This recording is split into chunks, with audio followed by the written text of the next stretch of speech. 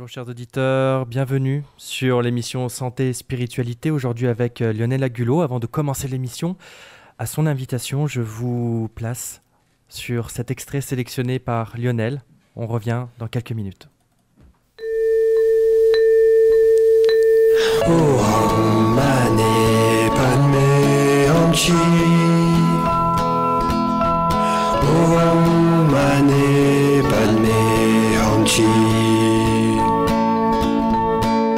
de soi, l'homme saura pourquoi. À la recherche du moi, elle trouvera sa voie. Oh, mane, padme, anchi. Oh, mane, padme, anchi. L'inconscient de mon être, rien ne peut apparaître.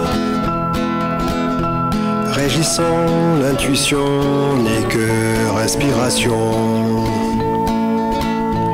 Oh, mane, padme, hamchi.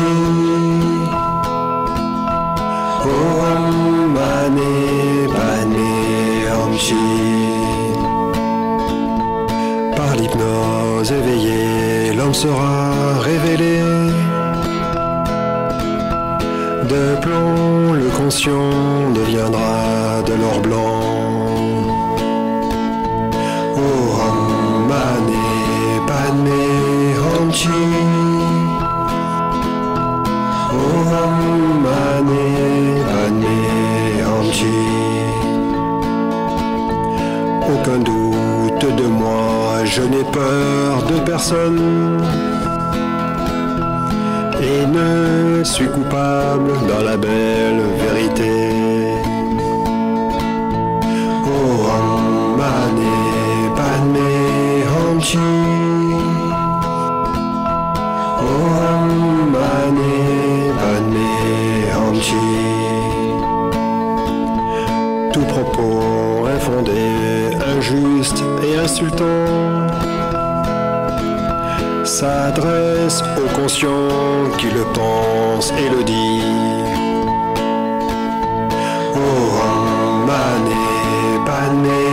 hamchi.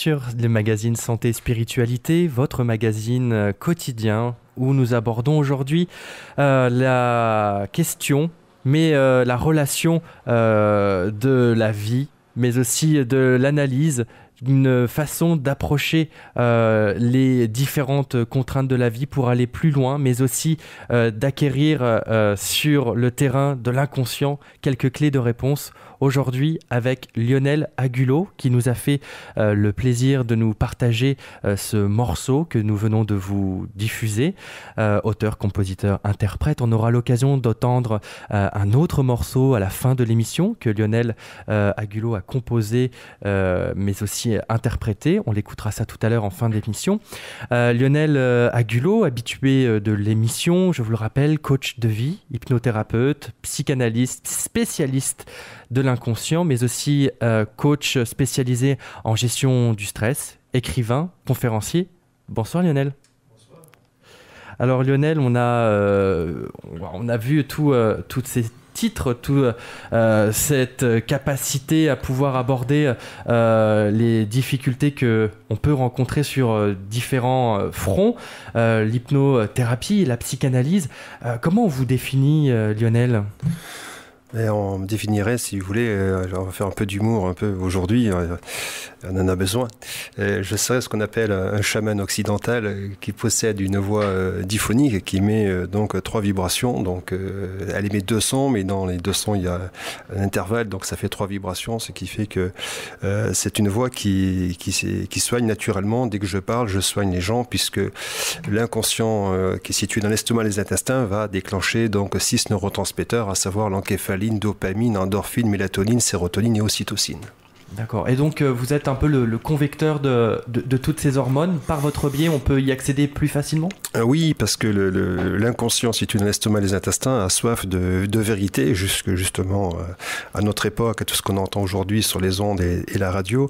ce qui est fondamental, c'est le, le, son et la vibration de la voix, parce que dans chaque voix de l'être humain, on a toute sa, propre histoire, mais également, on peut savoir, on a une oreille bien attentive, savoir si lorsqu'une personne parle, si elle parle faux, si elle parle vrai, si c'est un menteur, un manipulateur ou si c'est quelqu'un qui est sincère.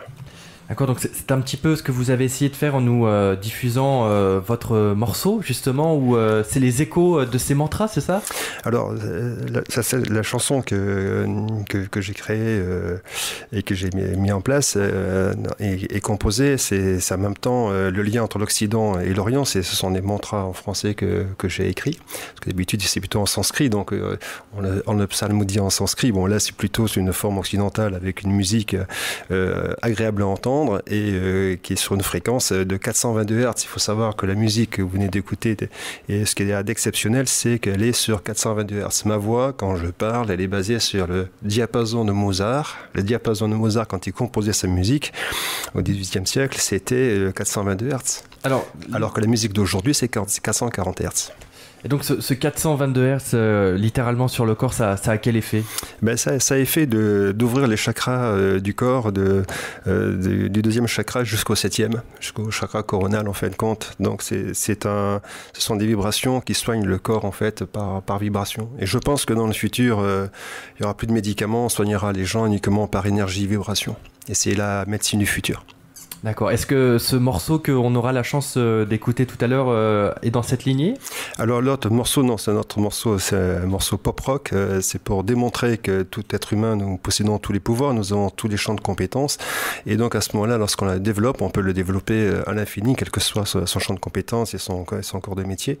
Et c'est une chanson pop-rock d'amour, que c'est une chanson que j'avais écrite, que j'avais écrit à 17 ans à mon amoureuse de, de, l'époque, hein, parce que j'étais amoureux fou. Et donc, cette chanson, eh j'ai eu la chance d'avoir euh, un de mes fils qui, a fait le riff à, la guitare. Et de, ce riff à la guitare, on en a fait une chanson avec un, un ingé son qui s'appelle Martin euh, Lasselle, qui est très connu aux États-Unis.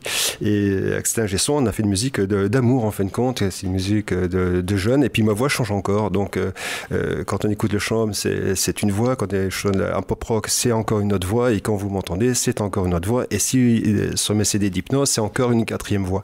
C'est toujours sur, des fréquences qui sont particulières. Alors, cette capacité euh, orale, est-ce que vous l'appliquez aussi d'une certaine manière dans votre euh, euh, pratique thérapeutique? Est-ce que justement vous arrivez à, rentrer dans, différentes manières, de, dans différentes thérapies pour soigner? Bah, Disons, ce, qui est très simple, c'est que le, talent que, je possède est, est, comme tout un chacun. c'est dans le domaine de l'inné je suis né avec cette voix, donc euh, mon père était baryton, et il a une très belle voix, il chantait du Jean Ferrat, donc euh, mon père était renommé à ce niveau-là, et donc euh, moi je suis pas un baryton, je suis un baryton Martin, c'est-à-dire que je suis coincé entre le ténor et le baryton, ce qui fait que quand je chante ou quand je parle, en fin de compte, on ne sait pas si je ne vois de très jeune ou si je ne vois ancienne, on ne sait pas trop déterminer si on m'a au téléphone ou si on m'entend à la radio, quel âge j'ai vraiment en fait. D'accord. Et, donc, euh, imaginons euh, dans, les thérapies, est-ce que justement vous arrivez, tel un caméléon, à, adopter telle ou telle thérapie pour l'adapter euh, à, chaque, à chaque problématique, à chaque spécificité? Je m'adapte à rien. Vous savez, c'est le, les maîtres, lorsqu'ils officient venant l'âge aidant, parce que j'ai 62 ans, donc j'ai 24 ans de carrière, on simplifie notre pratique en fait. Et donc notre voix comment dirais-je, s'agrège de l'expérience ancienne et euh, obtient une profondeur, une puissance qui est de l'ordre de l'inouï en fin de compte. Et les maîtres vont jusqu'à plus loin, ce qui est au-delà de leur voix. En fin de compte, leur aura est tellement importante qu'il suffit qu'ils se présentent pour guérir la personne sans même qu'il ouvre la bouche. Vous voyez ce que je veux dire? Et pour répondre à votre question, oui, mais non, je ne, je, ne fais pas un caméléon, je m'adapte pas du tout. J'ai qu'une seule chose à faire, c'est émettre le son, la voix, la vérité, c'est-à-dire d'être authentique et sincère. Et il faut savoir que lorsque, lorsque je, je parle, si vous voulez, je parle pas avec mon mental qui réfléchit. Je parle d'une manière totalement inconsciente. Vous me dites, mais attendez, s'il parle de manière inconsciente, il dit n'importe quoi. Non, je dis pas n'importe quoi. Je parle avec. C'est comme si mon mental était euh, en osmose avec mon inconscient et ces deux cerveaux, le cerveau entérique et le cerveau encéphalique, n'en font plus qu'un. Donc je ne deviens qu'être vérité en fait. Donc ce que j'évoque euh, va, choquer certains mentaux ou certains, certains mentaux qui ne vont pas supporter, mais les rationalistes et cartésiens vont se, vont se voir. Mais pour les autres qui ont des âmes chamaniques ou guérisseurs, ils vont se connecter à ma vibration et instinctivement, ils vont se mettre en osmose avec moi en fait. Euh, c'est pour ça qu'en thérapie, lorsque les gens viennent me voir, ce sont souvent des êtres chamaniques, ce sont des âmes guérisseuses en fait, comme moi, mais ce sont des, ce que j'appelle ça des bébés chamans. Et moi, en tant qu'accoucheur des bébés chamans, et eh bien à ce moment-là, je fais en sorte qu'ils soient dans leur champ de compétences, qu'ils puissent aider les autres aussi, en fait. Parce que le but d'un être guérisseur, quel qu'il soit, c'est de soigner euh, par la peinture, la sculpture, par la parole, par les mains, par, la, par, par, par, tout outil à ce niveau-là, pour permettre à l'être en face euh, euh, d'enlever sa souffrance, en fait. Et, en fait, il y a en général, euh, d'après mes calculs, il y a un chaman pour un groupe de 50 à 100 personnes en France, euh, comme dans tout pays d'ailleurs. Hein. c'est l'humanité, nous ne sommes qu'une seule et même personne, nous ne sommes qu'un seul peuple, euh, l'espèce humaine. Et dans chaque espèce, toute cette espèce humaine, entre, entre 50 et 100 groupes, il y a toujours un, être chamanique qui est, là pour soigner.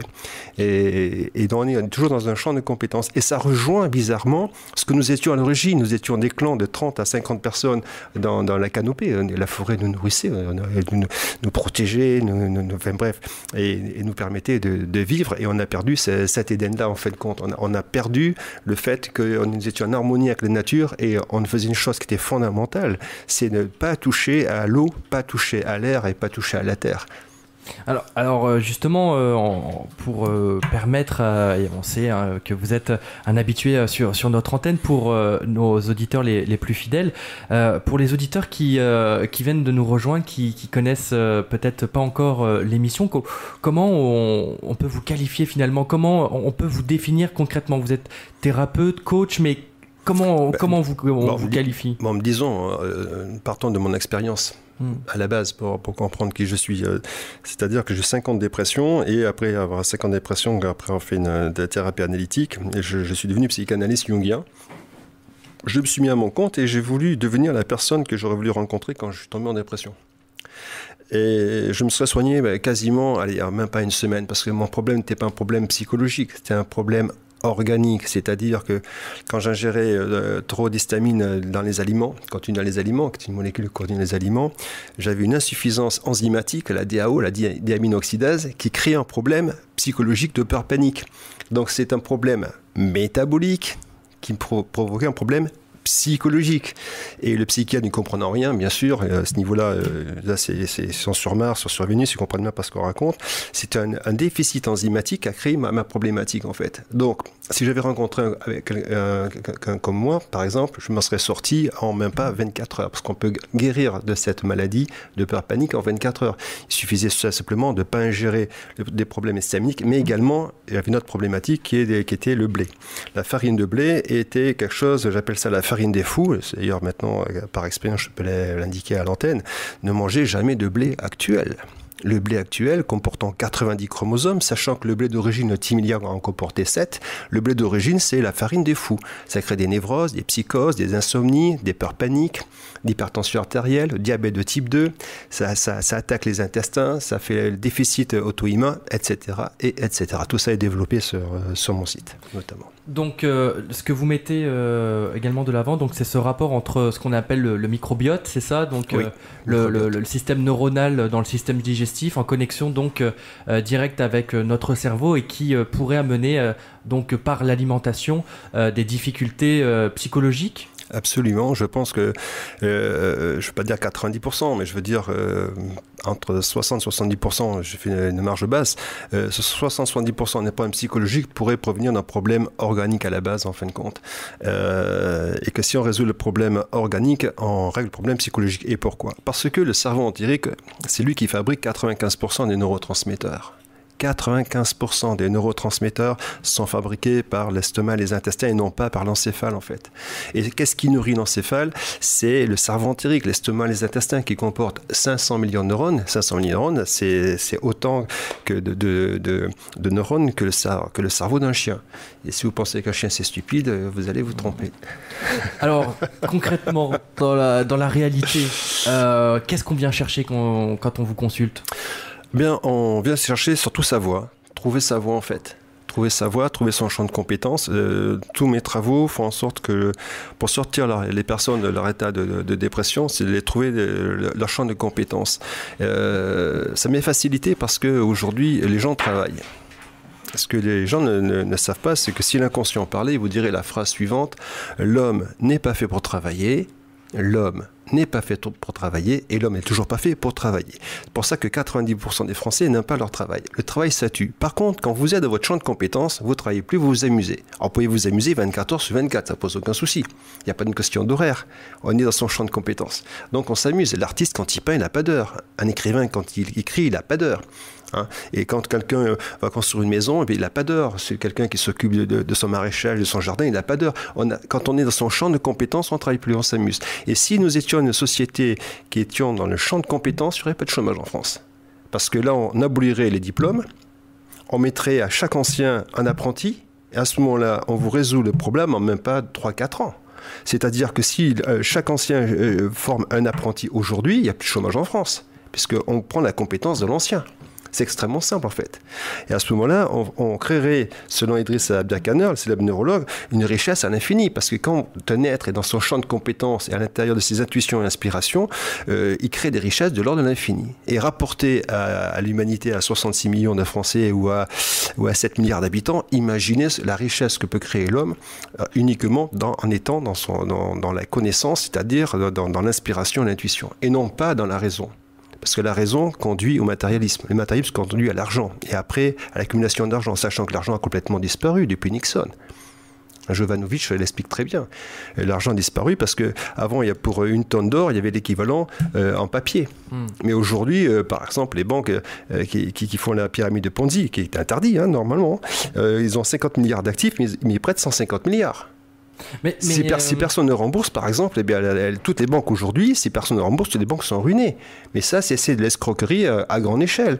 Tandis que si nous étions dans un champ de compétences, à ce moment-là, tout le monde pourrait par troc, pourrait très bien se nourrir. Alors, ce, champ de compétences, euh, Lionel Agulot, comment on peut savoir ce à quoi on est, ce qu'on aime finalement, ce qui, ce qui est pas, facile finalement de savoir à quoi on est destiné, ce qu'on aime pour se retrouver dans cet état de, flow euh, face à, l'activité, au travail.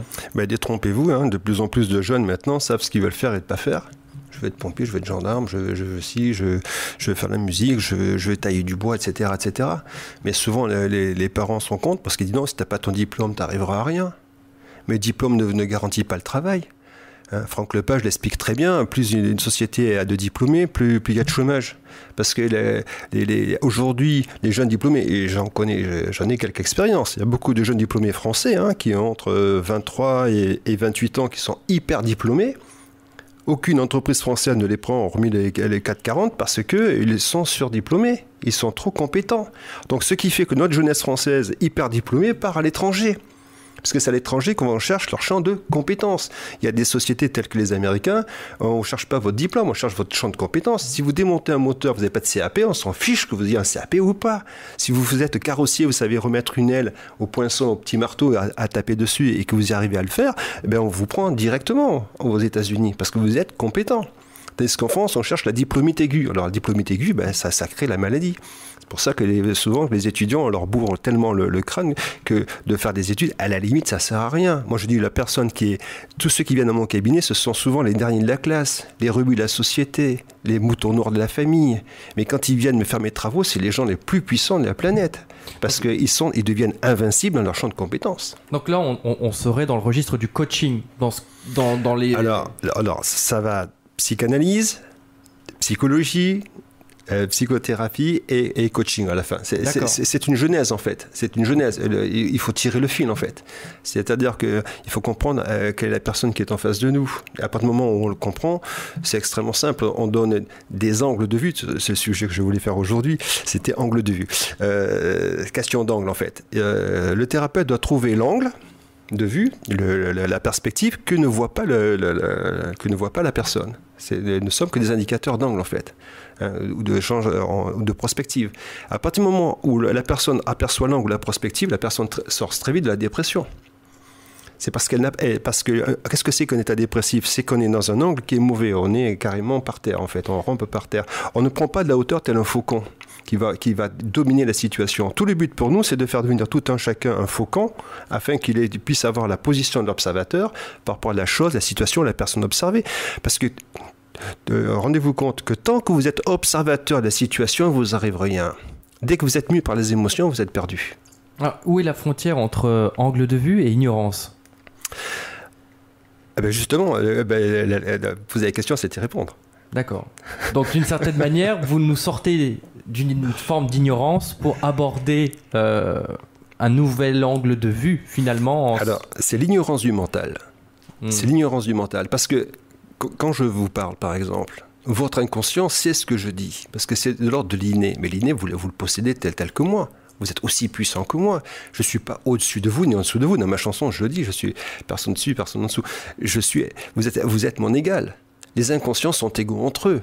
Il n'y a que le mental qui fait la différence entre les uns, le riche et le pauvre, le plus intelligent, le plus bête, etc. Ça n'a aucun sens. Où l'intelligence? On pense qu'il y a des gens qui sont très bêtes, mais les gens qu'on pense très bêtes ont parfois des, des, avis d'une pertinence inouïe, d'une intelligence inouïe. Alors, comment identifier que nous sommes dans un angle de vue toxique? Ben, Quand on tombe malade.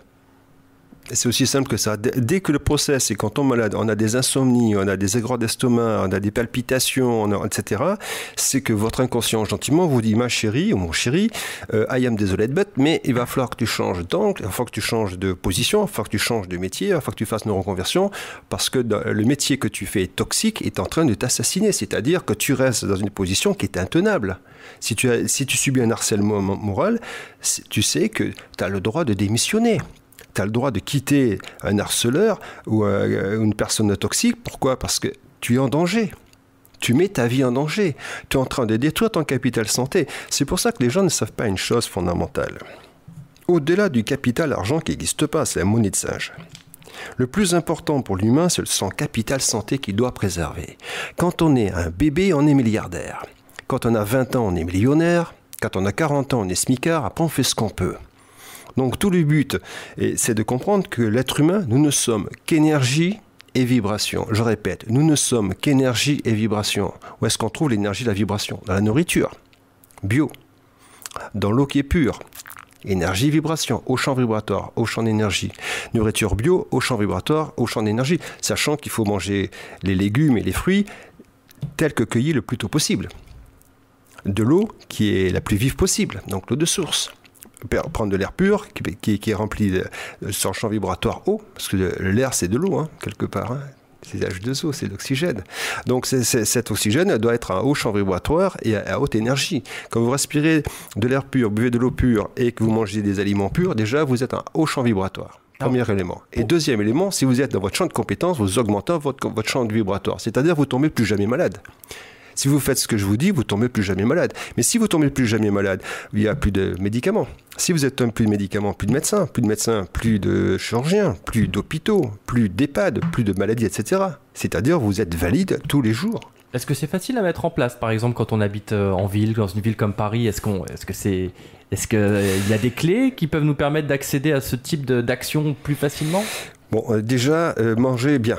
Déjà, la première chose, un Parisien doit manger, euh, doit manger bien. Euh, deuxièmement, si, j'étais Parisien, il y a d'ailleurs beaucoup de Parisiens qui viennent chez nous euh, en Occitanie, on, quitte la France pour venir chez nous, chez les Occitans, pour aspirer de l'air pur, etc. Parce qu'il faut savoir que lorsqu'on vient en Périgord, par exemple, parce que c'est un pays de, mes ancêtres, l'un de mes pays de mes ancêtres, lorsque je descends de Paris et que je prends ma, voiture à Angoulême, que je descends les vitres de ma voiture, quand l'air rentre, je mange de l'air.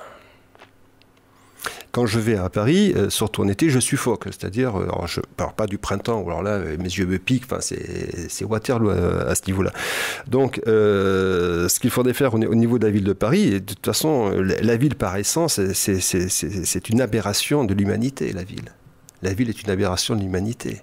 Quand vous pensez, par exemple, que pendant 5 millions d'années, quand les hominidés sont venus sur Terre, 5 millions d'années, L'eau était à nous, la terre était à nous. On vivait avec la faune et la flore. On vécu en harmonie totale. La forêt nous abritait, nous protégeait, nous nourrissait. Il n'y avait pas de guerre, il n'y avait pas de, police, il n'y avait pas d'impôts, il n'y avait pas de taxes, il n'y avait pas de propriétaires, etc. Y avait, on était par groupe de 30 ou 40 personnes. On allait, ça allait très bien pendant 5 millions d'années. Puis le jour on s'est mis à construire des cubes, là, ça commence à partir vraiment pas très bien à ce niveau-là. Parce qu'on s'est mis à s'enfermer, on s'est mis, s'est emprisonné. On a emprisonné notre âme entre quatre murs, en fin de compte. C'est pour ça que la ville, par définition, est une aberration. C'est pour ça qu'à la limite, ce que va faire la nature, c'est extrêmement simple. Elle va fabriquer un virus. C'est ce qu'a fait avec tous les êtres vivants sur Terre. Quand on est trop nombreux, elle va fabriquer un virus. Et puis ce virus va emporter la moitié de l'humanité ou les trois quarts. Et puis les survivants, ben, on fera ce qu'on pourra par la suite. Mais il faut savoir, même si l'être humain disparaît demain, si nous disparaissons, la terre, elle s'en fiche, elle va se passer de nous comme elle veut.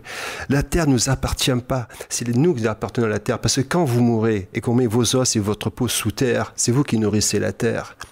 C'est nous qui appartenons à la terre. Et la terre ne nous appartient pas, en fait. C'est pour ça que de l'instinct de propriété, c'est, comme disaient les, Amérindiens, c'est une aberration totale. Parce que quand l'homme blanc aura compris que quand il n'y aura plus d'herbe, quand il n'y aura plus de viande à manger, quand l'eau sera polluée, quand l'air sera pollué, quand tout sera mort, l'homme blanc comprendra que l'argent ne se mange pas. Alors, est-ce que c'est un appel au retour aux sources, Lionel Agulot On y vient on y vient. Il y a, même des, politiques, euh, je ne sais pas si c'est pas Couché qui s'appelle, euh, qui, a fait une maison en autonome euh, en, prévoyant que tout va s'effondrer. Donc il a prévu une, façon, une maison passive, pas gourmande en énergie. Il a, prévu l'eau, il a prévu la terre, il a prévu, il s'est en autonome, il s'est mis en harmonie avec les uns et les autres à la campagne, etc., etc. Mais oui, bien sûr. Mais de toute façon, on, y viendra de facto. Soit on disparaîtra, puis la terre se renouvellera sans nous, il n'y avait pas besoin de nous. Soit on en prend conscience maintenant il y a des gens, il y a, même des jeunes de 28 ans. Il y a une, mission que, j'ai vue euh, à, la, à Champs-Rousse où un jeune de 28 ans a fait une maison euh, en hauteur à 1200 mètres. il est autonome en tout, en bois, en chauffage, en énergie. Il fait, il fait son eau chaude, il fait son jardin, il fait du woofing, il a ses deux ânes, etc. Et il vit avec rien. C'est-à-dire, il n'a pas de voiture, mais il vit en harmonie totale avec la nature, avec la montagne, avec toute la beauté que, ça, génère, bien sûr, la, vibration, l'énergie, etc. Donc, c'est quelqu'un qui vivra euh, très vieux, très longtemps dans sa montagne, bien sûr. Mais il y a de plus en plus de gens qui veulent aller dans le désert, il y a de plus en plus de gens qui veulent aller dans les grands espaces, bien sûr, parce qu'ils savent très bien qu'on étouffe ici. Et c'est vrai que quand on parle étranger, très souvent, on n'a pas envie de revenir en France.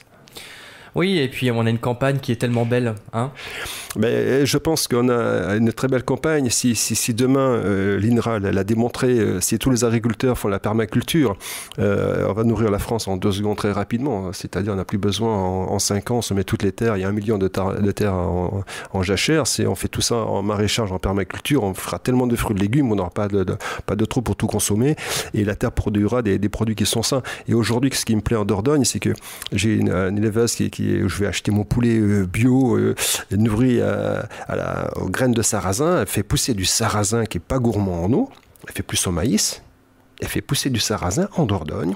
Voilà, elle a des terres, etc. Elle nourrit ses poulets au sarrasin qui sont magnifiques, euh, super bons, etc. elle, travaille tellement bien qu'elle n'a pas besoin de, euh, plus parce qu'elle ne peut pas fournir. Donc tellement elle a, a de succès.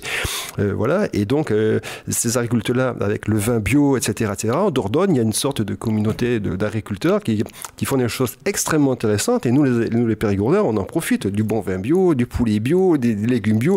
Ça, ça, commence à se développer de manière très importante en Dordogne. Je ne sais même pas s'il n'y a pas une cantine la première cantine bio de France, qui n'est pas à Belvès, chez nous euh, en Dordogne. Donc on fait école. Et en plus, Périgord, c'est le pays de la bonne bouffe, hein, donc comme dans beaucoup de départements. Mais je, je, je, pense que c'est ça qui, ce sera ça qu'il faut se tourner. Euh, énergie, vibration, euh, de, dans tous les sens du terme. Eh oui, en, circuit très court comme ça, c'est euh, fascinant, c'est super intéressant. Euh, Lionel Agulot, je vais euh, passer comme à notre habitude hein, dans l'émission Santé et Spiritualité, toutes les 30 minutes, on rappelle les informations, les actualités, mais aussi toutes les coordonnées pour contacter Lionel, notre invité ce soir, Lionel Agulot. On revient tout de suite.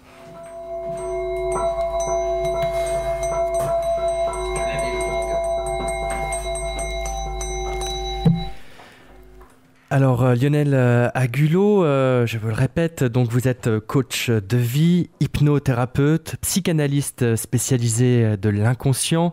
vous travaillez sur le coaching en gestion de stress. Vous êtes également écrivain et conférencier, hypnothérapeute certifié par le New York Training Institute. Et vous avez été formé par Anne Linden, ancienne élève du docteur Milton Erickson, donc le créateur, l'instigateur, l'initiateur de l'hypnose ericksonienne et euh, vous pratiquez euh, l'hypnothérapie et la psychothérapie depuis 24 ans. Euh, vous possédez donc une solide expérience professionnelle et donc vous vous démarquez notamment par votre spécialité de l'inconscient. vous conseillez sur différents fronts, que ce soit la diététique, le coaching en gestion de stress en entreprise, mais aussi en coaching personnalisé, mais aussi en analyse euh, de rêves dont nous ferons euh, l'expérience un peu plus tard dans l'émission avec euh, les auditeurs. pour vous rejoindre directement, vous avez notamment un site internet pour retrouver l'ensemble de vos médias très riches, mais aussi l'ensemble de vos coordonnées. Je vous cite tout de suite, je vous invite à prendre un papier, un crayon, lionelagulo.com, donc Lionel, L-I-O-N comme Nadine, E L-A-G-U-2-L-O.com. Je répète, lionelagulo.com. L-I-O-N-E-L A-G-U-L-L-O.com. Euh, vous êtes également sur euh, Facebook, sur Agulo Lionel, donc A-G-U-2-L-O Lionel, juste simplement chercher dans euh, la page de recherche. Vous consultez en direct, en réel, donc sur la région parisienne ou bien euh, sur la région euh, de Périgueux. Vous êtes euh, disponible également en consultation via le téléphone ou via WhatsApp ou même encore Skype, et ce 6 jours sur 7, du lundi au vendredi de 9h à 20h et le samedi de 9h à midi au 06 46 33 60 38. Je répète, le 06 46 33 60 38.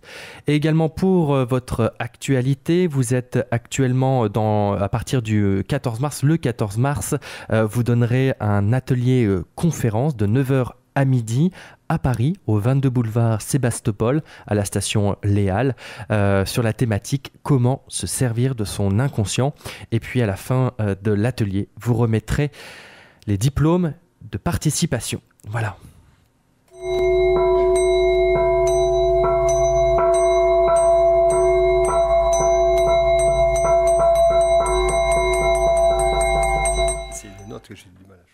Alors Lionel Agulot, on reprend notre euh, discussion. Euh, il est 18h euh, actuellement. Je vais inviter pour nos auditeurs qui veulent consulter Lionel Agulot pour une analyse de rêve, comme à l'habitude lors de ses interventions dans notre émission Santé et Spiritualité. chers auditeurs, l'antenne est désormais ouverte. Le standard est ouvert pour contacter Lionel Agulot pour l'analyse de vos rêves au 08 92 23 95 20. Oh, Mane Padme Amchi. Oh, Mane Padme Amchi. À l'étude de soi, l'homme saura pourquoi. La recherche du moi, elle trouvera sa voie. Oh, Mane Padme Hamchi. Oh, Mane Padme Hamchi. L'inconscient de mon être, rien ne peut apparaître. Régissant l'intuition n'est que respiration. Oh, Mane Padme Hamchi.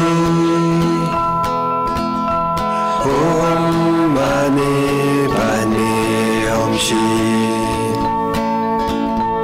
Par l'hypnose éveillée, l'homme sera révélé. De plomb, le conscient deviendra de l'or blanc. Oh, Mane Padme Hamchi.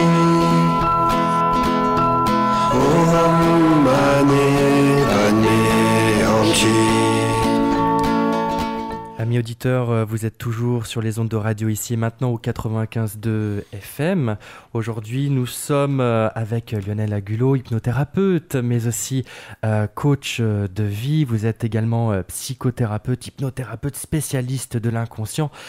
Je vous rappelle que l'antenne est ouverte pour poser vos questions à Lionel Agulot. Simplement contactez le 08 92 23 95 20. L'antenne est disponible. À tout de suite. Injustes et insultants s'adresse au conscient qui le pense et le dit. Oh,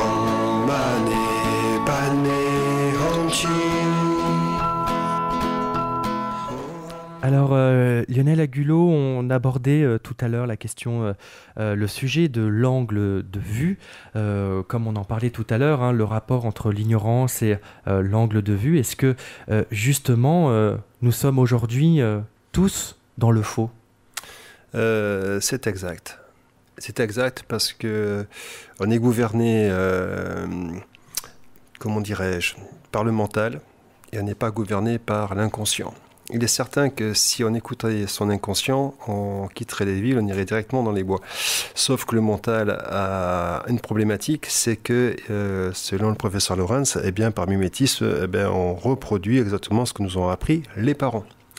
Et si on apprend, si une société, quelle qu'elle soit, apprend aux parents à, faire une société qui, fait en sorte que ça, fait, ça crée euh, la différence euh, entre le riche et le pauvre, entre le, celui qui est soi-disant moins cultivé par rapport au plus cultivé, mais on s'égare. Parce qu'il faut savoir qu'il existe des sociétés, notamment chez les Maoris, euh, chez les, Malgaches, c'est euh, en Nouvelle-Calédonie, euh, en Australie, mais bon, ils ont assassiné le peuple aborigène ou chez les Amérindiens. Il, y avait, il y a toujours une notion fondamentale dans, ces tribus ou dans ces clans qui est, remarquable, c'est le respect des anciens. Le respect des anciens. Et aujourd'hui, euh, est-ce qu'on respecte nos anciens?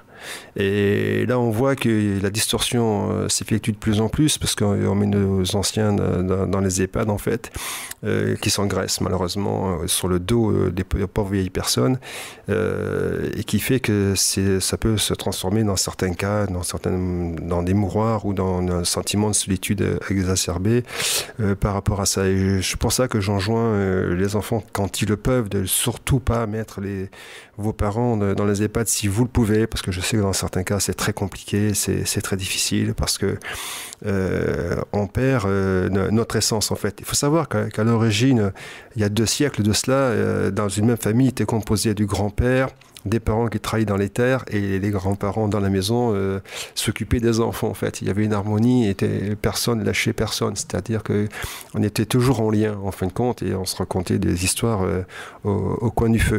Aujourd'hui maintenant, on est tellement divisé que maintenant divisé par euh, les, tablettes ou par les écrans. C'est-à-dire que autour d'une table, peut y avoir quatre personnes qui sont à table en train de manger et qui sont en train de parler à leur écran. Euh, et même qui se parlent par écran interposé à table. Je veux dire, on est dans quelque chose qui est de l'ordre de, l'inhumain, euh, ce qui fait que le contact entre les êtres diminue en fait, euh, au profit du virtuel. C'est-à-dire qu'on vit dans, complètement dans quelque chose de, de, la dictature de l'image.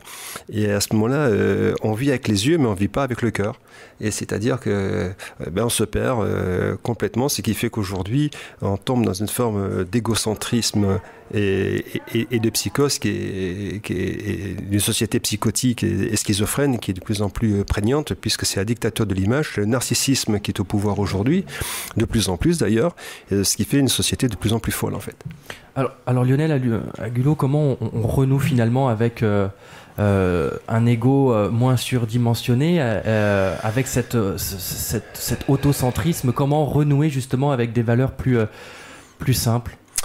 Ça commencerait par, l'éducation, c'est-à-dire que, les parents euh, devraient éduquer leurs enfants, parce qu'aujourd'hui, c'est les enfants qui éduquent les parents, c'est-à-dire euh, on est complètement dans le renversement du paradigme, c'est-à-dire qu'avant, les, parents éduquaient les enfants, et maintenant, c'est les enfants qui éduquent les parents. On tourne à l'envers, il faut, il faut remettre les choses euh, à l'endroit. Il y a un livre qui est remarquable, qui, qui indique tout ça, qui peut permettre aux parents de reprendre pied, c'est La cause des enfants de François Zolto, qui est pour moi une Bible, qui est un livre fabuleusement bien écrit de François Zolto. Il faut savoir que euh, quand j'ai lu La cause des enfants de François Zolto, j'ai mis six mois pour le lire. Alors vous allez me dire, attendez, six mois pour le lire, et pourquoi vous avez mis six mois pour le lire? Parce que sur chaque page de François Zolto, j'ai essayé de comprendre pourquoi elle a écrit ça. C'est-à-dire quelle était son expérience qui lui permettait d'écrire ça en fait. Donc je lisais paragraphe par paragraphe, mais lentement, je lisais avec lenteur en fait. Et j'essayais de comprendre l'essence de l'esprit de Françoise Dolto. Et ce qui m'a permis, euh, grâce à elle, justement, euh, pour les enfants qui ont des, des, difficultés ou dans des schémas parentaux, etc., de pouvoir parler aux parents, de pouvoir parler aux enfants d'une certaine façon en fait. Parce qu'elle indique en même temps comment on parle aux enfants. C'est-à-dire que, euh, je, vais, je vais c'est-à-dire un enfant, ça s'éduque d'une façon extrêmement simple. On donne un repère à l'enfant. L'enfant, par définition, va vouloir dépasser le repère. Bien sûr, c'est la règle du jeu en fait, hein, d'accord? Mais ça permet à l'enfant de pouvoir comprendre qu'on peut lui dire non. Le non est éducatif. C'est pas le non tout le temps, parce que là, c'est un non narcissique, c'est sadomaso. Mais euh, un non éducatif, c'est-à-dire, il y a un moment où on dit oui, il y a un moment où on dit non. Si l'enfant ment, par exemple, quel que soit son âge, on ne peut pas être complice d'un mensonge euh, dit par un, par un enfant ou un jeune homme ou un adolescent on doit, être centré par rapport à ça. C'est fondamental parce que si euh, on est complice du mensonge d'un être humain euh, à ce niveau-là, ça, on est complice d'un menteur, on se ment à soi-même. Mais on est aussi co-responsable du mensonge, du menteur à ce niveau-là. Sur le raisonnement. Donc à ce moment-là, il faut éduquer l'enfant dans la vérité, dans la vérité la, plus fine et, la plus proche. C'est pour ça que François Zolto avait dit une phrase qui était un peu révolutionnaire, qui n'a pas plu à beaucoup, qui disait que la meilleure des éducations, parfois, ce serait pas d'éducation du tout.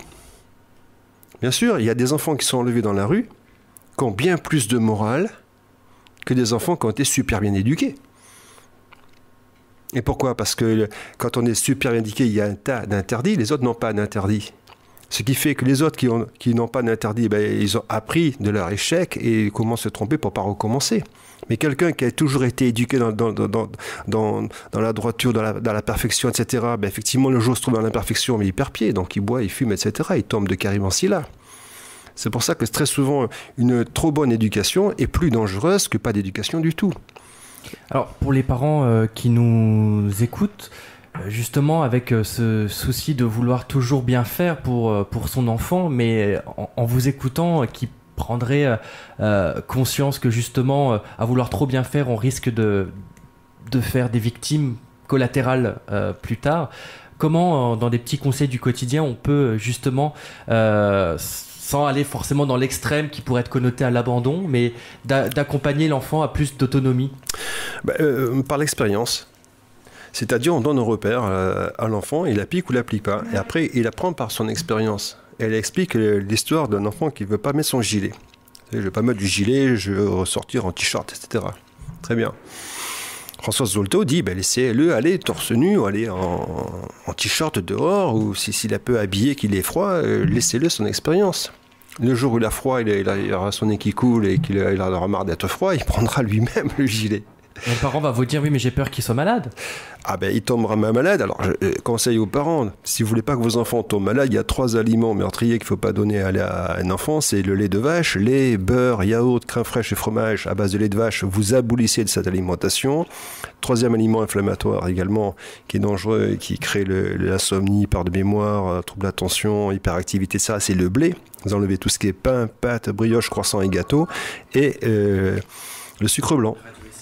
Et, avec, euh, et le sucre blanc est hautement toxique parce que ça crée, fait des crises d'hyperglycémie suivies des crises euh, euh, d'hypoglycémie. Ce qui fait que l'enfant, après, grignote, boulotte et puis se met à manger toujours des aliments sucrés et a des troubles du comportement oui, je pense que ça va faire euh, écho à beaucoup euh, d'entre nous, hein, euh, avec notre consommation quotidienne de sucre et de blé qui est très centrale dans la gastronomie française. je vais passer tout de suite. non, on va prendre notre premier auditeur. C'est Sébastien. Sébastien, tu, tu, es avec nous. Tu souhaitais poser une question à Lionel Aguilot Oui, oui bonsoir, bonsoir à tous les Bonsoir. Il va falloir qu'on juste parler un petit peu plus près du, de ton combiné, euh, Sébastien, car on t'entend très mal. Voilà. Vous m'entendez mieux? Oui, voilà, ça va bien. Merci. Euh, bon, ben, euh, bon, après, je veux dire, moi je suis d'accord avec vous. Ben, je ne sais pas si vous êtes un habitué aussi, que vous écoutez l'antenne, Monsieur Agulo. Bon, moi, je me retrouve dans ce que vous dites, hein, puisque bon, je pars du, même principe qu'on vient tous du même œuf. Hein. Euh, oui. bon, là, je voudrais aller dans le sens. Bon, sur ça, j'ai. Euh, peut-être à, la fin de mon propos. Euh, je ne comptais pas intervenir, mais bon, là, sur. comme vous parlez de l'enfance, de l'apprentissage, de tout ça, bon, ben, je vais livrer mon, mon cas personnel. bon, ben comment dire Bon, moi, moi, je me suis mis à. j'ai été très précoce. j'ai été prématuré. Euh, j'ai appris euh, dernièrement. J'ai un rapport assez. Euh, allô, vous m'entendez? Ah, je vous entends bien maintenant, oui. Voilà. donc j'ai un rapport assez particulier avec, avec tout ce qui est le monde médical, bon, depuis, depuis que je suis né. Oui. Donc euh, j'ai été prématuré, j'ai appris récemment qu'en fait j'ai été morné, réanimé pendant euh, je sais pas combien de temps. Euh, ça a pris que trois jours. Donc ça m'a amené à comprendre beaucoup de choses en fait. Hein. bon moi j'aurais peut-être préféré, je sais pas, je me dis, parce que j'ai toujours senti que j'étais un peu à côté. Vous voyez? Oui. C'est-à-dire que toute ma vie était, était, un long, était un long parcours de synchronicité. J'ai toujours été sur un chemin. chemin que j'ai pu euh, définir euh, un, un, un, l'âge de, par la culture, en m'enrichissant des, expériences des autres, en apportant des mots sur des sensations, sur des émotions, sur des situations. Euh, bon, moi, je me, moi, j'ai, je j'ai, marché à un an et j'ai commencé à lire à trois ans. Je veux dire, j'ai, j'ai jamais appris à lire. Je me suis mis à lire spontanément et j'en ai le souvenir. Je sais, je, je mon, père est décédé, ma mère peut vous le dire, une de mes oncles qui était présent aussi. Je veux dire, je, suis conscient de la scène, je me rappelle comment tout s'est passé et tout, et je, veux dire que euh, j'ai toujours été, euh, euh, et, il y a, à peu près euh, plus de 12 ans, bon, j'étais certain que je ne suis pas un cas, à part, quoi. Mais ça a toujours été caché, on m'en a jamais parlé. Euh, moi, moi, je le savais, mais j'ai toujours cultivé ça normalement. Euh, bon, après, beaucoup d'autres choses se sont greffées, parce que j'ai eu une période, en fait, de l'âge de 5 ans jusqu'à mes 7-8 ans, j'ai une absence consciente. C'est-à-dire, j'étais pas ici. Voilà. Oui. C'est-à-dire que j'ai énormément de souvenirs de, de, mes, de mes deux ans, un an et demi, deux ans énormément, pas énormément, mais je veux dire, j'ai vraiment des images, j'ai quelque chose, quelque chose qui, qui, m'a le plus marqué, c'était juste avant de me mettre à lire, c'était un livre que, que, mon oncle venait de m'acheter, dans une grande surface, un livre sur la ferme et les animaux. Euh, j'étais dans la voiture dans le, dans le, comment on appelle ça, dans le fauteuil enfant, à l'arrière. Mon père, à l'époque, il avait une, une deux chevaux. Mhm. Euh, mon oncle était euh, côté passager. Il me donne le livre. Ils prennent, ils prennent la route. Et j'ouvre le livre et je me mets à dire euh, la première phrase concernant les sauterelles. Que la sauterelle saute euh, tant de fois plus que, que l'homme. Voilà. Et, et à ce moment-là, bon, ben, je, le ressenti que j'en ai, je vois mon homme se tourner un peu apeuré, qui se demande ce qui se passe, mon père qui donne un coup de volant, et puis, euh, et puis voilà quoi. Ça, ça a toujours été éludé. On n'en a jamais reparlé. Vraiment. Euh, ces dernières années, oui. Allô? Oui, je vous entends toujours, oui. Oui, vous m'entendez? Ces dernières années, oui. Bon, moi, je me suis rendu compte euh, de, de, de, de par bon, l'enrichissement qui, qui, qui vient à moi, hein, parce que moi, je pars du principe que la connaissance, elle est dans la nature. Oui. Hein, Il n'y a qu'à il y a, y a qu'à s'ouvrir à soi-même et, et se fondre dans son environnement. Oui. Et l'environnement, c'est pas la ville, vous l'avez dit. Mhm. Euh, et, tout vient à soi. Voilà, moi, je sais que ça, je, je, je, je le vis, quoi. Bien sûr. je le vis, c'est une réalité. C'est une réalité. Euh, et puis de toute façon, on est toujours seul et on n'est jamais seul. Puisque puisqu'on est capable de, de, de s'emplir de milliards de vies sans, sans- même les avoir côtoyés, vus, appréhendés ou, ou quoi que ce soit. Et c'est là tout le potentiel de, de la conscience. Tout à fait. Euh, je, je, je constate cette réalité de la source. hein, et c'est quelque chose que j'appréhende depuis très petit. Aujourd'hui, je mets ce mot parce que je vois que c'est le mot qu'on qu'on qu'on donne à, à, à, ce- à- à cette efficience à laquelle on peut, on peut accéder simplement par le lâcher prise et la non-orientation de, de la pensée. C'est-à-dire, si, euh, en fait, euh, après, dans le courant, il y a beaucoup de choses qui ont été faites hein, au travers euh, je veux dire, on, peut, on peut arriver à déterminer, à, à, vivre tout ça juste par les proverbes, tout, l'enrichissement linguistique qui a pu être fait sur, sur, sur, sur l'expérimentation de l'homme face à la vie.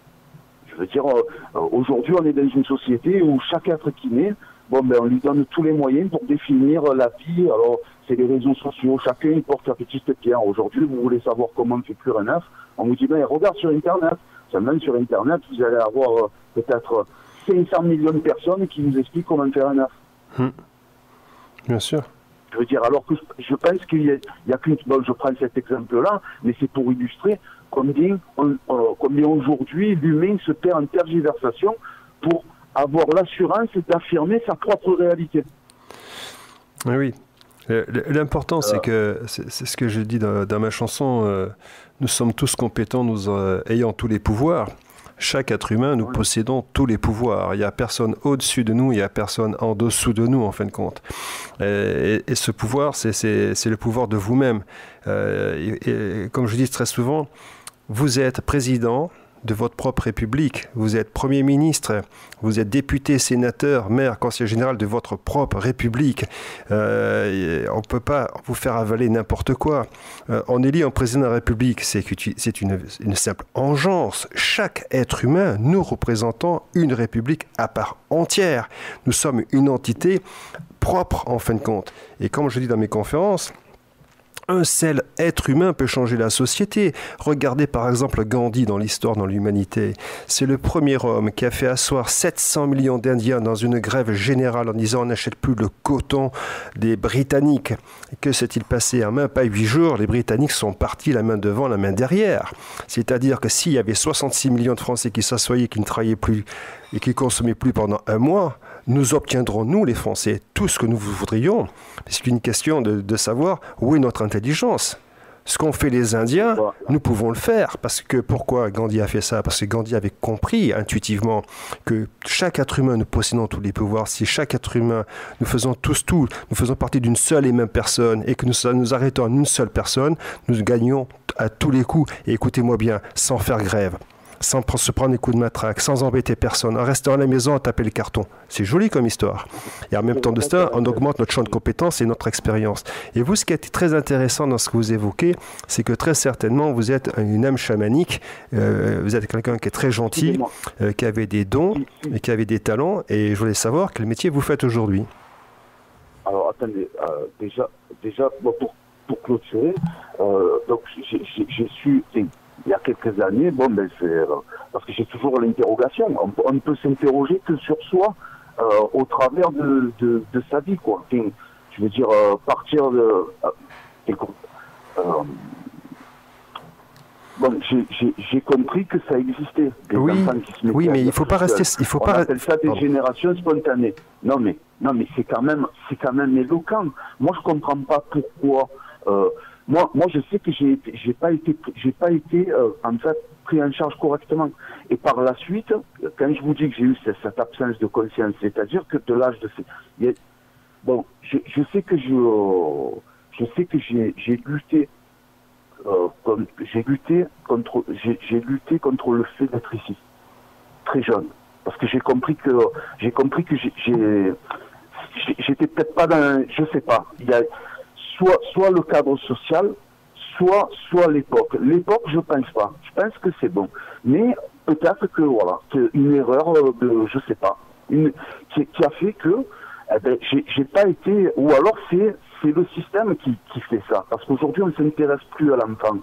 On ne s'y intéresse plus. Euh, alors là, là c'est pertinent quand même de parler de l'enfance parce qu'aujourd'hui, il y a un article qui est sorti qui était assez intéressant, plus intéressant que, les délires, euh, les dérives de Benjamin Griveaux. Hein. Euh, c'est donc ben, une petite qui est née, elle a, elle a que la moitié d'un cerveau. Bon, ben, les, les parents, ils s'en sont rendus pas les parents ne se sont pas trop rendus compte.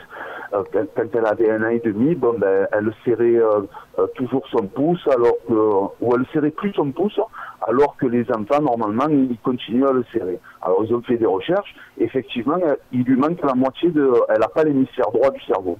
Voilà, il y a, de l'eau. Bon, ben, c'est pas un cas unique, mais qu'est-ce qu'ils nous disent, les docteurs? Oui, c'est une maladie extrêmement rare quelle maladie? La petite, elle a des facultés qui dépassent largement la moyenne. Hein. Elle a une QI surélevée. Elle s'est mise à lire toute seule. Euh, elle, elle, a quasiment rien appris de tous les adultes qui l'entourent. Hein. Euh, moi, moi, je pense que l'enfant, il vient au monde, c'est une solution. Si, si, on procrée, moi, moi personnellement, je n'ai pas d'enfant, mais, mais, mais, je considère la procréation comme une solution au monde. Aujourd'hui, l'enfant, c'est un problème. Vous entendez autour de vous, ah non, mais j'ai les gosses à aller prendre. Ah non, mais les petits, ah non, mais il faut que je fasse ça parce que ceci. Les, enfants sont un prétexte. C'est un prétexte. C'est un prétexte pour légitimer ce statut d'adulte qui n'existe pas en fait. Parce que l'être, il ne change pas. Vous avez beau prendre, moi, moi, je vois des, moi je vois des personnes comme Jacques, que, je salue. Je, te salue bien fort, Jacques, et, toutes mes amitiés que j'ai entendues l'autre soir, 87 ans, qui, a une lumière que, que, j'arrive pas à trouver dans un gamin de 7, 8 ans ou 10 ans euh, qui, est collé à sa tablette, ou, qui n'arrive qui arrive pas à s'émerveiller devant une fourmi. Parce que les enfants, ils ne font plus ça. On les déconnecte complètement de la nature. Et eh oui, et, et à côté de moi, j'ai eu le cas un, ami d'enfance, sa fille, euh, son, deuxième fils. Bon, il s'est remarié avec une Biélorusse, il a eu deux enfants, euh, magnifiques. Euh, son, deuxième fils, il s'est mis à lire seul, à, dans, ces âges-là, à trois, entre 3 ans et 3 ans et demi. C'est sa femme qui me l'a dit. Quand, quand elle a su que moi ça m'était arrivé, elle m'en a parlé. Mais à l'école, personne n'est au courant. On n'en parle pas de ça. Les gens le cachent. Moi, j'ai été caché. Moi, mon enfance, elle a été gâchée. Moi, le, médecin qui nous sert dans la famille, que encore un peu je cache une télé sur la tête il y a deux ans, elle est allée m'avouer, moi, à moi, que j'ai 40 ans, que j'ai eu une vie horrible. Et eh oui, mais vous étiez... Et, pourtant, je suis... non, mais j'ai une force. Euh, alors, ce, qu'il y a, c'est que... Pas vous. Moi, moi, on m'a traité comme un animal. Vous avez vu les chimpanzés qu'on envoie dans l'espace? On m'a traité comme ça, on m'a fait, on m'a fait des prélèvements à vif. Alors vous, étiez, vous, oui, alors euh, vous étiez ce qu'on appelle un enfant précoce Et on sait que les enfants précoces euh, sont très mal pris en charge puisque ce sont souvent des enfants en échec scolaire, ce qui est très connu. On m'a brûlé, à brûlé à l'azote pendant deux ans. J'ai eu des plaques qui sont sorties comme les plaques que j'ai vues quand j'étais petit à l'émission de Jacques Pradel. Mais quatre ans après, mm. il m'est sorti deux losanges. Il m'est sorti un losange de chaque côté de la cheville. Mm. Sur chaque un, losange sur la cheville gauche et un losange jaune sur la, sur la, cheville, sur la cheville droite, hmm. qui ont disparu. Aujourd'hui, je demande mon rapport, personne ne me donne mon dossier médical. J'ai jamais eu de réponse à tout ça. Et j'ai toujours attendu le moment, l'âge, la situation où j'allais pouvoir me poser, me stabiliser. Parce que j'ai su quelqu'un, j'ai constamment été dans l'instabilité. J'arrive, je peux pas me, je, je, ne me reconnais pas dans, cette, dans ce que vous appelez l'humanité. Oui, oui. Sébastien, je vais, euh, je vais devoir. Euh, là, ça fait un petit. Et, malheureusement, malheureusement, je, je, je, je, subis, je subis, je subis cette humanité. Alors, je la subis parce que je sais que je ne peux pas accéder à l'expérience euh, qui m'est donnée pleinement. Alors, écoutez, au, travers, la, au travers, ne serait-ce que la nature. vous dites la France, il y a quelqu'un qui a dit la France c'est un beau pays, mais c'est un pays, c'est le pays le plus paysager du monde. Ça fait, ça fait 2000 ans qu'on travaille la terre. Elle est rincée, la terre. Ah, les, coteaux, ils sont beaux. Mais c'est parce qu'on les exploite ou qu'on les exploite pas. la, nature, elle est déformée en France. Enfin voilà, je me suis écarté, mais tout ça pour vous dire que l'enfant, hein, laissez-le tranquille il n'a pas besoin de nom, de prénom, de quoi que ce soit, ou d'apprendre, ou, de, ou qu'on lui nourrisse le cerveau. Et j'espère que la nature, au travers l'exemple de cette fillette, vous pouvez taper Google Actualité, euh, fillette euh, qui lui manque euh, la moitié du cerveau, et vous pouvez lire l'article, comme c'est éloquent. Et j'espère qu'au travers de ça, beaucoup comprendront que la nature, elle cherche sûrement une issue pour conscientiser l'univers. Parce que l'humain, l'humain, avec, avec, Sébastien, on va. Euh, Sébastien, Sébastien, écoutez, on est obligé de vous arrêter un petit peu parce que votre témoignage est fondamental et très important. Je terminerai, je conclurai votre histoire. Il y a aux États-Unis un homme qui, a, qui, dans son cerveau, ne comportait que 20% de la totalité et qui, qui s'est marié, a eu des enfants et il a travaillé normalement. Voilà, c'est pas parce qu'on a un hydrocéphale, c'est-à-dire le cerveau est rempli d'eau avec un petit cerveau, que ça empêche l'être humain de vivre. Voilà. Oui, non, mais vous vous rendez compte comme c'est éloquent Pourquoi est-ce qu'on se laisse piloter par des gens bah Sébastien, je vais, je vais, euh, je vais reprendre, je vais devoir reprendre l'antenne. Sébastien, elle est obligée de. de Merci. C'est très gentil de votre part, et si vous voulez euh, continuer la conversation, vous m'appellerez euh, par la suite, et je, serai avec plaisir que je vous recevrai. Merci Sébastien. C'est par équité pour que tout le monde puisse avoir la parole. Voilà, on a, on a eu le droit pendant un quart d'heure de, de pouvoir avoir ton, ton, ton partage. je continue, on reprend l'antenne donc euh, santé et spiritualité. Nous sommes toujours avec euh, Lionel Agulot. On fait notre euh, petite page de rappel des coordonnées. À tout de suite.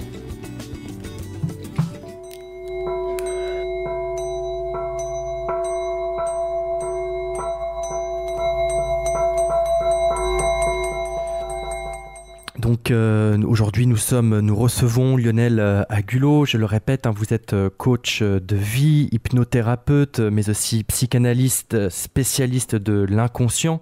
vous consultez pour différentes techniques, notamment le coaching, pour différentes raisons, que ce soit la gestion du stress, mais aussi que ce soit en milieu professionnel, en entreprise ou bien sur des thématiques plus personnalisé. Vous êtes également écrivain et conférencier.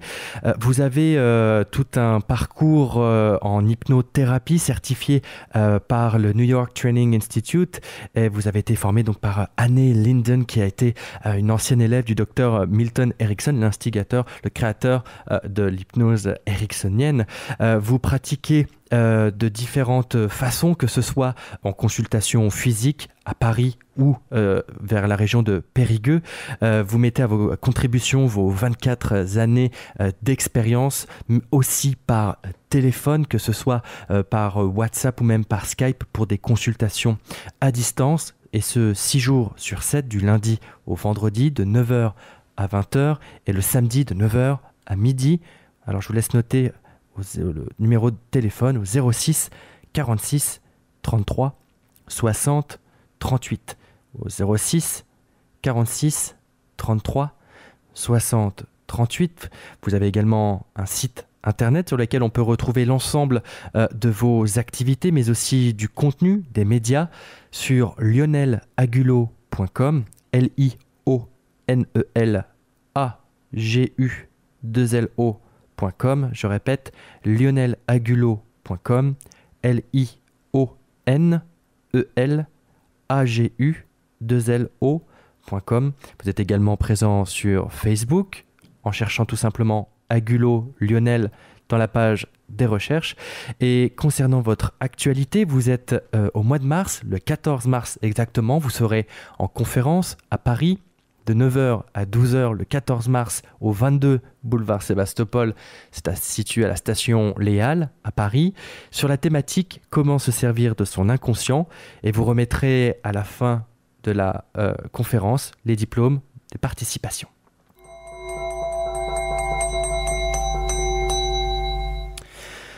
Alors Lionel Agulo, euh, nous sommes euh, dans la partie de l'émission où justement nous euh, permettons à nos auditeurs d'interagir avec vous, de pouvoir communiquer directement.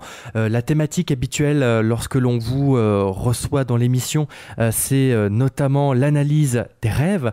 on invite nos auditeurs pour participer à l'émission et poser vos questions, vos problèmes auprès de Lionel Agulo en direct dans l'émission au 08 92 23 95 20. Oh, mane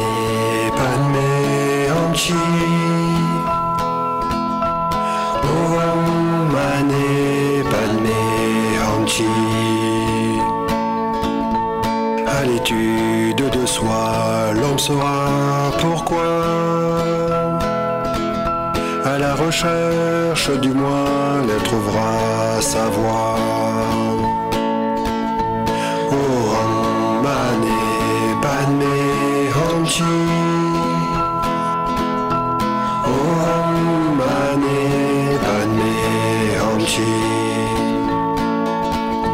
L'inconscient de mon être, rien ne peut apparaître l'intuition n'est que respiration. Oh, Alors on continue l'émission, on va prendre notre euh, deuxième auditeur qui est une auditrice, c'est Esther. Esther, tu es à l'antenne. Voilà. Oui, bon, bonsoir Lionel et bonsoir euh, le présentateur. Maxime, oui. Voilà, c'est Maxime. Maxime. Voilà. Euh, oui, alors est-ce que je peux raconter deux rêves? Oui, allez-y Esther. Oui, merci. Alors, euh, euh, le premier, il est très ancien. Alors, je, je marche dans la rue et j'ai un sac à la main, comme un sac en plastique euh, pour les courses. Et j'ai l'impression tout d'un coup qu'il y a quelque chose qui bouge dans le sac. Alors, je me dis, oh là là, le, enfin, ça doit être un poulet. Mais comment ça se fait, le poulet, il bouge? Et en marchant comme ça, il y avait un homme qui passait dans la rue, un homme que je connais. Et euh, il est rentré dans une. Euh, euh, il s'est adressé à une porte et il est rentré dans, la, dans cette maison. voilà. Ça, c'est le premier. Je vous raconte déjà le deuxième. Allez-y. Tout de suite. Alors, donc, moi, mon, mon mari n'est plus de ce monde. Et j'ai rêvé de lui que. Ah non, d'abord, j'ai rêvé que, que j'étais angoissée et que j'avais peur. Et il y avait un, un petit agroupement à, à gauche des, des gens qui étaient ensemble. Et de ce groupe-là, il sort quelqu'un, et ce quelqu'un, c'est mon mari. Mais, mais pas quand, euh, euh, à l'âge où il est décédé, il, il, il, paraît jeune homme et vif et très, euh, très gai. Il était très gai, il est venu vers moi. Et moi, j'étais très contente de le voir parce que parce que hum, c'est comme s'il euh, calmait ma peur. C'est-à-dire, c'était une solution à ma peur. Voilà.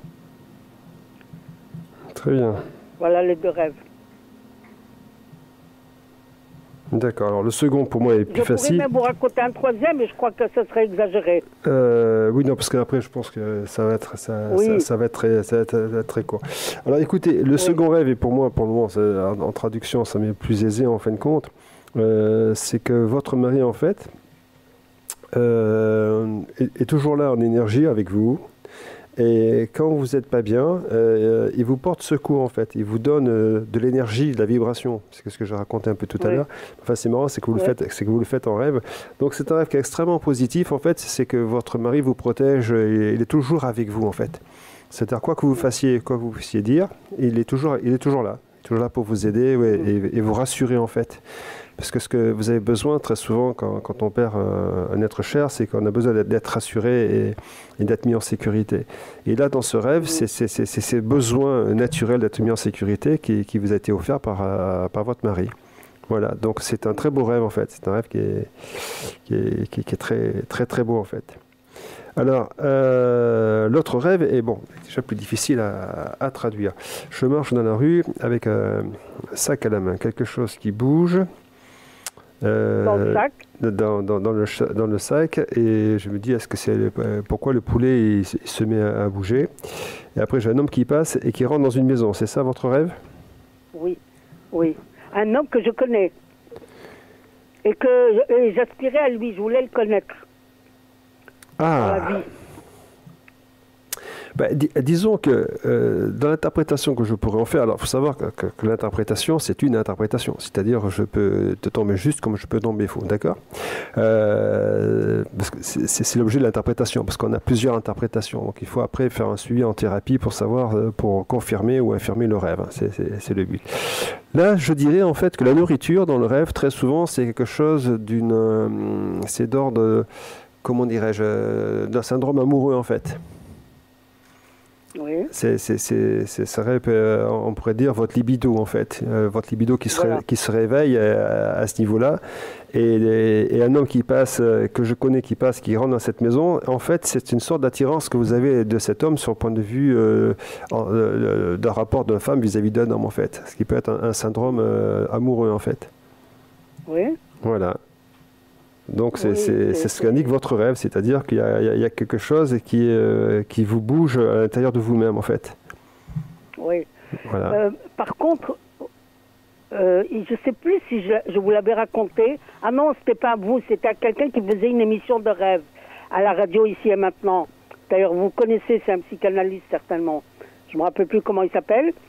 Et lui, il a dit que le poulet qui bougeait, c'était moi. Euh, oui, mais je vois pas ça comme ça. Moi, je vois plutôt que c'est une, appétence au niveau de votre libido, euh, une appétence amoureuse en fait, une envie amoureuse et euh, qui fait que cette attirance-là fait qu'après, ce qu'il y, a- qu'il de dingue, enfin ce qu'il qu'il très bien, pardon, c'est qu'il y a un homme qui passe et que, vous aimez bien. Donc c'est bien une, notion de, que, euh, il y a un syndrome amoureux dans, ce rêve vis-à-vis de cet homme. Oui, mais, pourquoi ça m'a fait peur? Le, le fait que ça bouge dans le sac. Eh ben, parce que que quand, on- une, normal. quand une femme tombe amoureuse, elle peut avoir peur. hein. C'est un phénomène naturel en psychanalyse qu'une femme qui tombe amoureuse peut euh, avoir peur de tomber amoureuse. C'est Eh oui. c'est- un symptôme qui est naturel euh, chez la femme, comme chez l'homme d'ailleurs. Oui, l'homme a aussi a- peur de tomber amoureux en disant euh, si je tombe amoureux, quelles en sont les conséquences? Enfin, il y a tout, tout un, euh, tout, une- tout de- tout des fantasmes que, que- qu'un homme et qu'une femme peut faire dans leur tête avec euh, les peurs qui vont avec. Mhm. Il y a toujours la notion Oui. d'interdit, vous savez, dans l'amour, il y a toujours des notions d'interdit, est-ce que je peux le faire, que, risque. comment je vais être apprécié, etc. Voilà, et donc je traduirais ce rêve plutôt dans ce sens-là. Mhm. Voilà, Esther. Bon, Merci euh, beaucoup. pas le troisième, là Merci. Merci. Non, Esther, on, on- on va, euh, on va pouvoir euh, laisser, on aimerait laisser l'opportunité à d'autres auditeurs, mais merci. Merci de votre gentillesse. À bientôt, Merci. Esther. Au Merci, revoir. bye bye. Au revoir. Bye Esther. Au revoir. Et oui, donc euh, on est euh, toujours à bord de notre émission Santé et Spiritualité sur euh, le 95.2 FM. Si vous n'êtes pas un habitué de l'émission, nous recevons à chaque émission un thérapeute, un spécialiste. Et aujourd'hui, nous avons Lionel Agulot qui, hypnothérapeute, psychanalyste et spécialiste de la conscience, permet de prendre vos appels pour répondre à vos questions, à vos problématiques, avec notamment sa spécialité en analyse de rêve. Je vous relance encore une fois, chers auditeurs, avant euh, de euh, rendre l'antenne à 19h. C'est l'occasion de tout de suite poser votre question à Lionel Agulot, 08 92 23 95 20.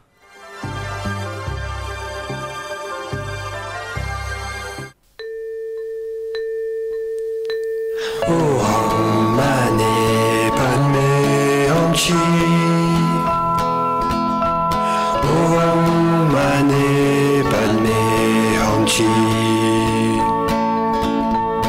solitude de soi, l'homme saura pourquoi.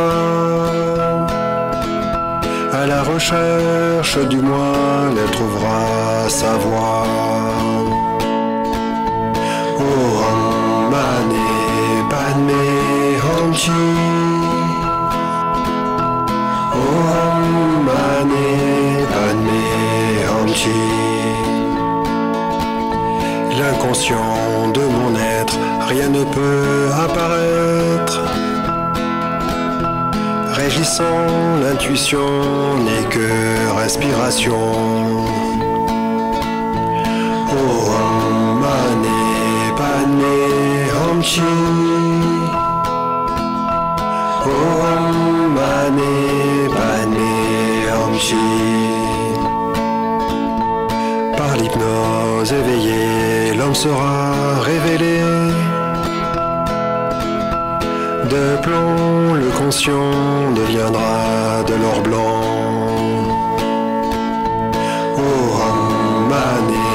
Pané, hamchi.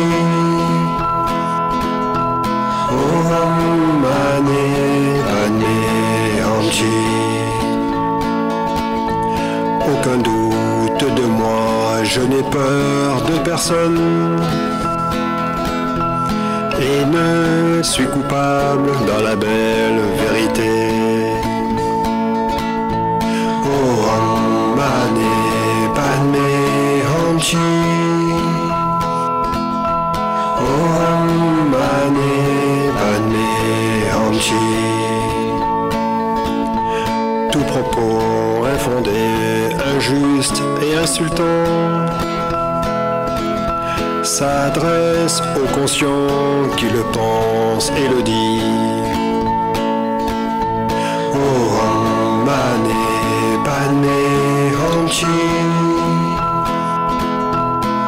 Ram, mané, pané, hamchi. Nous sommes tous compétents, ayant tous les pouvoirs. Personne bien au-dessus, personne bien au-dessous. Oh, Ram, mané, pané, hamchi. Oh, Ram, mané, pané, hamchi. Inconscient. Toujours sur les ondes de radio ici et maintenant sur euh, le 95.2 FM. Nous sommes toujours avec euh, Lionel Agulot et nous allons euh, prendre notre troisième auditeur pour aborder une question avec Abravi. Nous sommes avec toi à l'antenne. Quelle est ta question? Oui, bonjour monsieur. Bonjour, Abravi. Oui, euh, je suis d'origine africaine et ça fait euh, plusieurs années que je stagne dans tout ce que je fais. Euh, J'ai eu un accident euh, de voiture banal comme ça en 2000, euh, 2007. Et après, ben, ma vie a basculé. Je ne peux plus rien faire. J'essaie de retravailler. À chaque fois que je travaille que c'est comme si je démarre, je tombe. Tout ce que je fais, je n'arrive jamais à aller jusqu'au bout. J'ai fait pas mal de formations, euh, aide- euh, aide-soignante, taxi, et jusqu'aujourd'hui, je ne peux pas faire quelque chose aller jusqu'au bout. Et là, je suis dans une souffrance. Depuis l'accident, il m'est arrivé beaucoup de choses. Je suis chauffeur de taxi. Et après, cet accident, j'ai essayé de, retravailler après deux ans d'arrêt. Une agression physique euh, qui m'a fait tomber, mais je ne voulais pas lâcher. Mais à chaque fois que je redémarre quelque chose, je tombe. C'est ça compter euh, mes rêves que je, je fais, mes, des, drôles de rêves. euh, c'est comme si euh, je rêve et que la chose arrive. Alors aujourd'hui, je ne suis pas bien, je suis vraiment mal. Ok. Donc là, euh, ce qu'on appelle, le- le- on peut l'associer à un syndrome, ce qu'on appelle le, syndrome de l'échec ou, le syndrome de ne pas y arriver. qui peut être un, processus qui peut provenir de, la naissance, du moment de, votre naissance, ou du schéma parental au, niveau éducatif. Parce que lorsqu'il y a un, choc émotionnel, en fin de compte, le trauma ancien remonte. Et ce trauma ancien, c'est souvent euh, compris soit in utero, c'est-à-dire au moment de votre conception, soit euh, post-utéro, euh, c'est-à-dire qu'après après l'accouchement. Et le, trauma qui a pu remonter, c'est un trauma qui peut être compris entre 0 et 6 ans. Est-ce qu'entre 0 et 6 ans, vous avez eu une maladie ou un accident ou, ou un deuil ou quelque chose qui s'est produit dans cet âge-là? Je ne me rappelle pas du tout. Je ne me rappelle pas je ne vois pas de, je sais pas moi, de, de 4, 5, 6, 7, 8, 10 ans, même 12 ans, je ne me vois pas. C'est comme si quelque chose qui a été gommé dans ma vie. Mais n'empêche que je sors d'une très grande famille, hein, vraiment trois femmes, mon, mon avait trois femmes, donc on, a, on vivait beaucoup à la maison. Et euh, je sais que euh, ma mère, peut-être qu'ils ont désiré un garçon, je ne sais pas, mais parce que ma mère avait eu trois, trois garçons les deux premiers décédés, le deuxième vivant, et après je suis la troisième fille. Mais ma façon de vivre, c'est comme je, suis comme un garçon manqué, en fait. D'accord. Je me battais aussi souvent. Oui. Alors, ce qui se passe, c'est que très euh, souvent, vous avez, vous avez deux cerveaux. Euh, je fais un peu d'humour. Euh, y a, Vous êtes contradictoire, vous êtes dans l'entre-deux, et vous, vous êtes dans l'indécision. C'est-à-dire, vous ne trouvez pas votre voie. C'est-à-dire que euh, vous pouvez faire une chose et, faire son contraire. C'est-à-dire, je réussis en même temps j'échoue en fait. Et donc, il faut vous recentrer. Et ce qui fait que je dirais même que votre yang est trop haut par rapport à votre yin qui est écrasé en fait. Et donc, il faut remonter, faut remonter votre côté féminin pour écraser euh, votre, votre yang. Voilà. C'est pour ça que si vous avez un mari ou un homme, ou etc., si vous avez un mari ou un homme, il faut que votre homme écrase le yang pour faire remonter votre yin. C'est-à-dire que il faut vous rassurer, vous mettre en sécurité. Pourquoi? Parce que si vous êtes en mode d'autodéfense, votre yang remonte et écrase votre féminité en fait. Ce qui fait que vous, vous n'arrivez pas à finaliser ce que vous êtes, c'est-à-dire être à l'intérieur de votre art. Voilà. Et c'est pour ça que dans, mes travaux, justement, les, personnes dans votre cas euh, m'intéressent beaucoup euh, sur le plan clinique, dans un sens où euh, j'essaie de la personne de retrouver sa féminité, sa, voix et, d'être à l'intérieur de son art, en fait. Parce que ce dont vous avez besoin, c'est être à l'intérieur de votre art.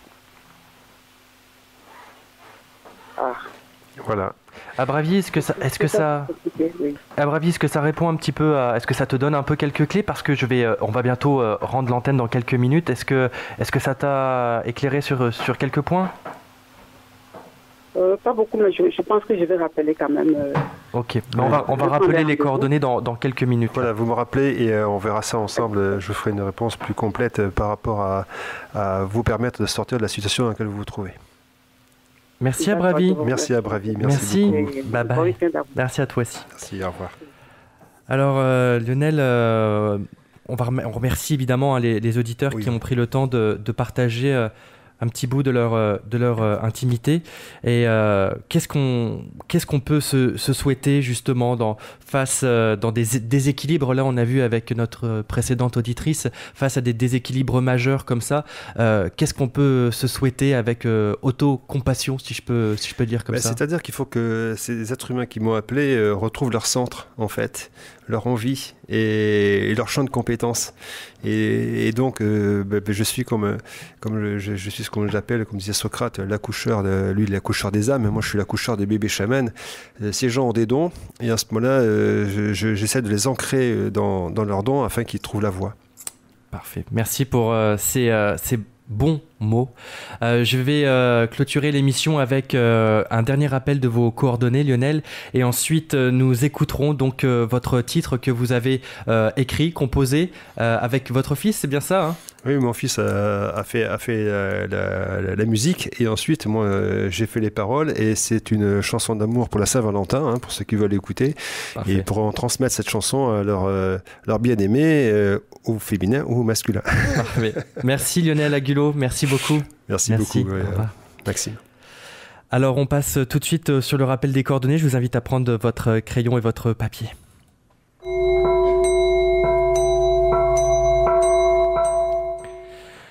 Alors euh, Lionel euh, Agulot, euh, coach de vie, hypnothérapeute, psychanalyste et spécialiste de l'inconscient, se spécialise également dans le coaching en gestion de stress. Il est également écrivain et conférencier.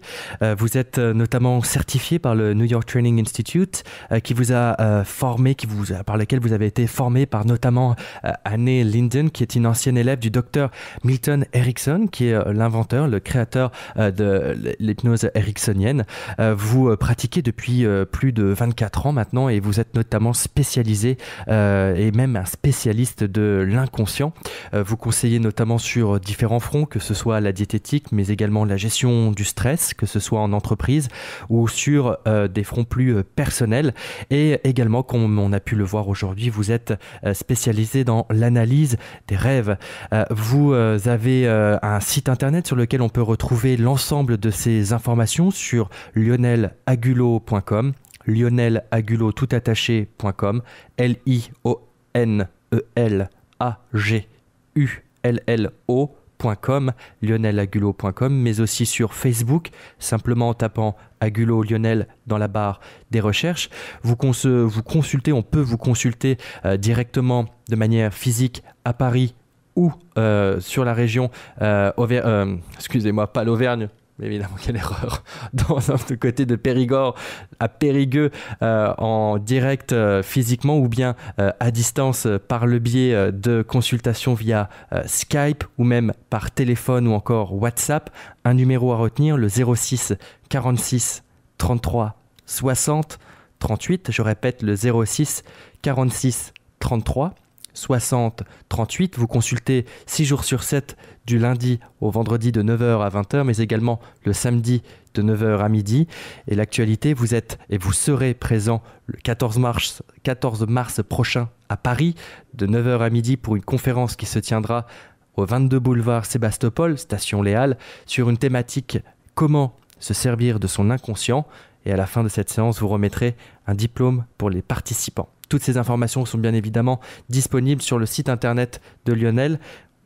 Lionel oui, euh, simplement indiquer que je serai également à la radio le vendredi 13, euh, euh, mars à 17h30 sur Radio Ici Maintenant. Et sur Radio Ici Maintenant, fidèle au poste. Merci beaucoup Lionel. On se retrouve pour finir l'émission sur votre titre, je répète, Amour irraisonné. Quant à moi, on se retrouve la semaine prochaine. À toutes et à tous, je vous souhaite une excellente fin de semaine. Bye bye.